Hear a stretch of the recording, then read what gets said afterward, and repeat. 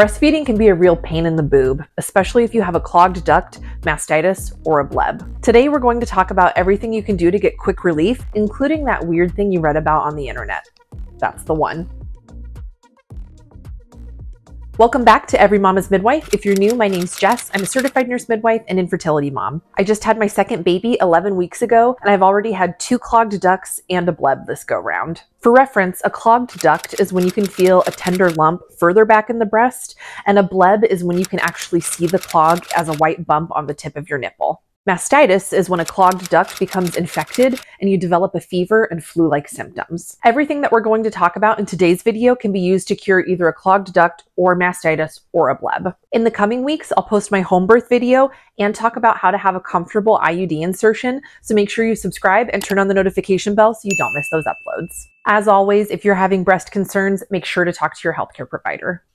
All right, first, that weird thing you read about on the internet. Can you ask your husband, boyfriend, partner to suck out the clog? Yes, you can. And honestly, it might be your most effective option. I did not learn about this option in midwifery school, but I learned about it from my cousins when we were having a girls' night and everyone had had a glass of wine. You cannot imagine my dismay as a midwife when I learned I was the only person who hadn't tried it to resolve a clog, and I'd had one, and I'd had mastitis, and I'd had a bleb at this point. I did talk my husband into doing this for me when I had a bleb last week, and the bleb was gone within 24 hours. With my first baby, I had a bleb that lasted for four months, and I wish I had tried this trick. If you're not comfortable asking someone to slurp out your clog or your bleb, Fortunately, there are a lot of other things you can try. You can start taking 800 milligrams of ibuprofen every six hours, which is four regular ibuprofen.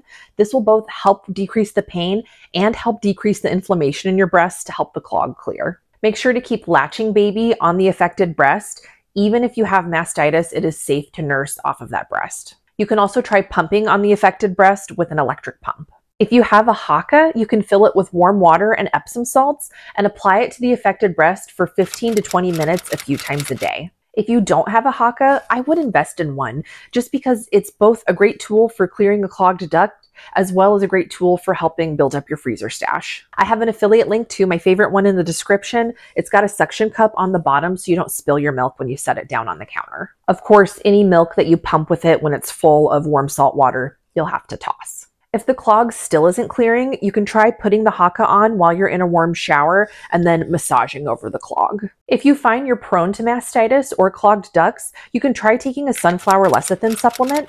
Sunflower lecithin is an over-the-counter supplement that's supposed to help make your milk less sticky and less likely to clog. While you have mastitis or a clogged duct or a bleb, you can take one 1200 milligram soft gel four times daily. And then once the clog clears, you can cut back to one soft gel daily for maintenance. Legendary Milk is my favorite brand. I have an affiliate link in the description. I try to remember to take it daily. Most women who have had mastitis are likely to have it again three more times. So after I had mastitis once with my daughter, I continued to take sunflower lecithin and fortunately I never had it again. If none of these things help, definitely go see your healthcare provider. And by all means, you should be talking to a healthcare provider if you think you have full blown mastitis because it usually takes antibiotics to get better. If you have a persistent bleb that will just not go away, you can also talk to your healthcare provider and get a prescription for triamcinolone, which is a steroid cream that you can apply to your nipple to decrease inflammation and help get rid of the bleb. Please give this video a thumbs up if you found it helpful. It really helps the algorithm show it to the mamas who might need it. Thank you so much for watching.